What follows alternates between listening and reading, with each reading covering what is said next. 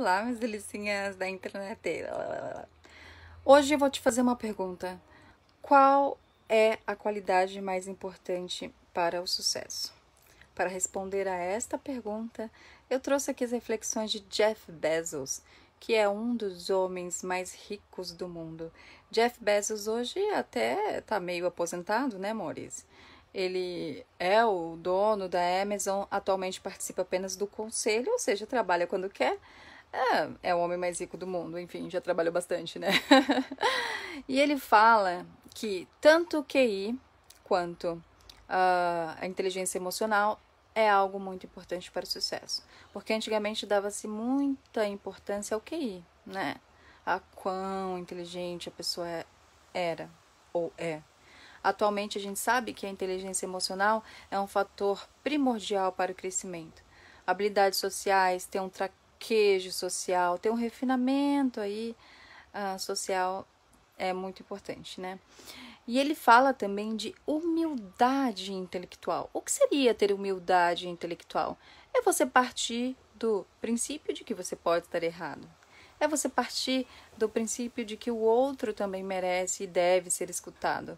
É você partir do princípio de que você não sabe tudo, de que existe muito mais coisas a se saber é partir do princípio de que você deve sempre estar se atualizando, crescendo, entrando em contato com pessoas diferentes, divergentes de você. Isso é muito importante porque, principalmente quando a gente fala de organização, a gente vai entender a importância da diversidade, da diversidade de ideias, né? São pessoas que vêm com um background diferente, e isso tudo agrega muito, porque a sua ideia pode vir agregar ao projeto, seu, sua história de vida vai ajudar, enfim, tudo vai ajudar para que as ideias aí de diferentes pessoas culminem no bem-estar de todos ali naquele projeto em específico e no sucesso do projeto.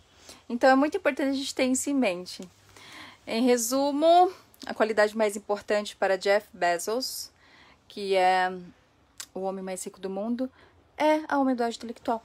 E a ciência também corrobora isso, tá? Eu vou ler alguns pontos aqui que ele falou que eu achei bastante interessante, né?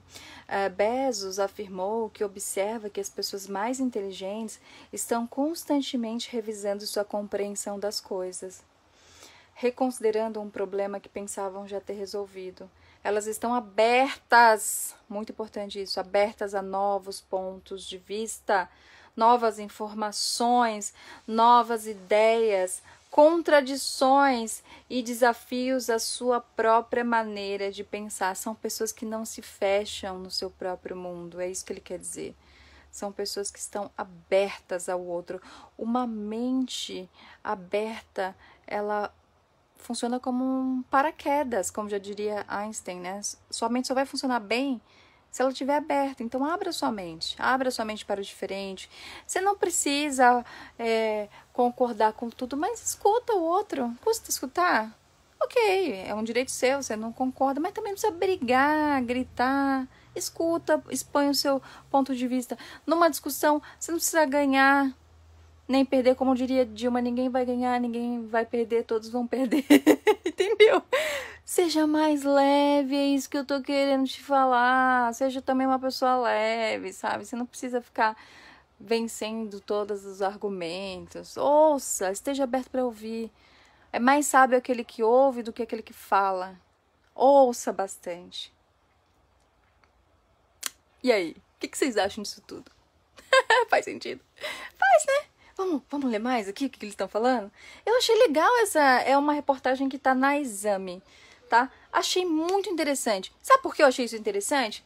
Vai chegando uma época na carreira, se você quiser crescer até no nível gerencial, que quanto mais habilidades sociais você tiver, um traquejo social, você vai ser uma pessoa mais bem-sucedida.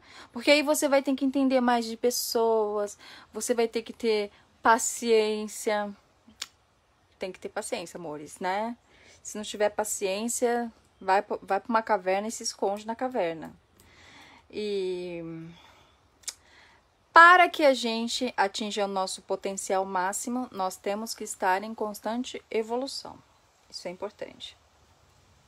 E isso implica que implica em admitir que você pode estar errado. Sim, você pode estar errado. Comece desse princípio de que você pode estar errado. Tem muita gente que se fecha nas suas verdades absolutas. Não, eu tô sempre certo, imagina, isso daí é certo. Pessoas arrogantes, né, amores? Prepotentes, o que mais tem por aí. E Bezos, mores, eles gostam de contratar aqueles que tentaram, falharam, que aprenderam com seus erros, né? Porque isso mostra que você está aberto o suficiente a informações novas e contraditórias para ter o máximo de sucesso possível. Então eles gostam de gente que foi lá, tentou. Porque você. Uh, quando você tenta, você pode errar. Mas se você não tentar, você não vai errar, mas você nunca vai ter tentado. Grandes nomes aí não só do, do mundo organizacional, mas também da, da música, são pessoas que tentaram muitas vezes, sabe? Receberam muitos não e, e depois conseguiram, aprenderam com seus erros e melhoraram. Isso que é legal. Parece intuitivo, mas é consenso na psicologia que os humanos em geral são realmente muito ruins no quesito humildade intelectual. Para o professor de psicologia da Duke University, Mark Leary, isso torna esta qualidade uma vantagem poderosa para alcançar seus objetivos na vida. Olha que interessante, Mores. Isso. Mores, muito. Essa reportagem é muito importante. Nossa uma das pesquisas desse psicólogo, ele descreveu uma série de benefícios da humildade intelectual. Segundo ele, as pessoas que são intelectualmente humildes, elas consideram com mais cuidado as evidências que contradizem os seus pontos de vista e acabam entendendo melhor aqueles de quem discordam, o que não prejudica quando se trata de empatia persuasão e negociação de compromissos. Eles também são melhores em extrair ideias criativas e variadas de outras pessoas. A humildade intelectual também está associada ao desejo de aprender novas informações. Pessoas com alto nível de humildade intelectual obtêm maior pontuação em curiosidade epistêmica, que é a curiosidade do conhecimento, né, amores?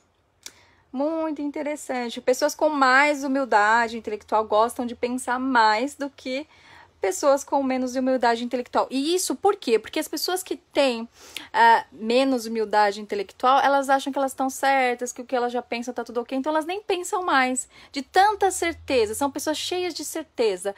Certezas de si, certezas do mundo, ela está sempre certa. E ai de quem discordar delas. Não discorde de mim. Não, não, não, não, não. Não pode. Eu, eu tô certo, sempre. Pro outro lado, aqueles com baixa humildade intelectual são mais propensos a se envolver emocionalmente com aqueles que discordam deles e são considerados desagradáveis pelos outros. É claro, alguém gosta de ficar perto de gente que se acha soberba intelectualmente, gente egocêntrica geralmente são narcisistas também, tá tudo ali embolado. Mores, Tão interessante essa reportagem, não é? Então vamos ter mais humildade intelectual, vamos partir do princípio de que a gente pode estar errado, né? Vamos olhar o outro com cuidado, com carinho, ouvir, vamos ouvir. A gente não precisa concordar com tudo, mas vamos dar ao outro o benefício da dúvida, vamos conversar amigavelmente, né?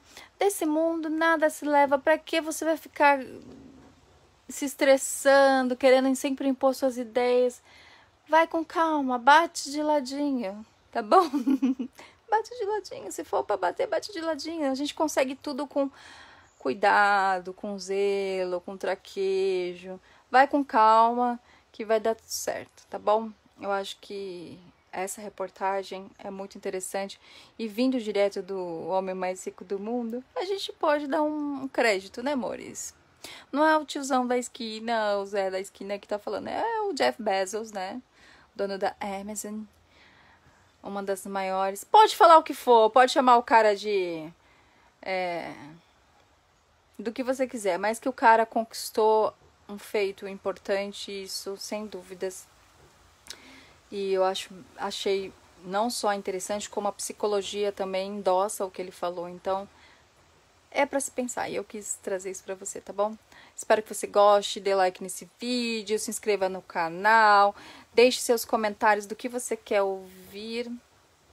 Como, como que vai ser esse ano de 2022 pra gente aqui? Eu quero que você dê hum, dicas de temas, tá, amores? Por favor. pra gente falar de coisas assim interessantes. Eu gosto de falar desses temas de psicologia, vocês sabem, né, amores? E acho que isso daqui vai ser bom. Isso que eu tô falando, gente, é bom não só olhando para um nível organizacional, mas isso daqui é bom para tudo. É bom para o seu relacionamento com interpessoal, com a tua esposa, com seus filhos, sabe? Ouvir mais o outro, ir na com humildade, com tranquilidade nos relacionamentos, acho que isso ajuda muito e é o que tá faltando. Tá bom? Tchau. Deixa meu like. E se inscreva no canal. Compartilhe esse vídeo. Beijos.